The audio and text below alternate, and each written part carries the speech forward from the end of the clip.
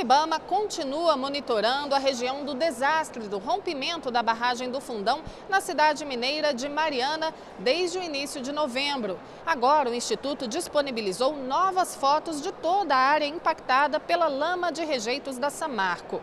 Uma câmera de alta resolução acoplada ao helicóptero utilizado nas operações de emergência ambiental já registrou a situação nos mais de 660 quilômetros de rios, da barragem até a Foz, no Espírito Santo, com uma foto a cada dois segundos. Todas essas imagens e o material estão disponíveis para consulta na página do IBAMA na internet. De Brasília, Ana Gabriela Salles.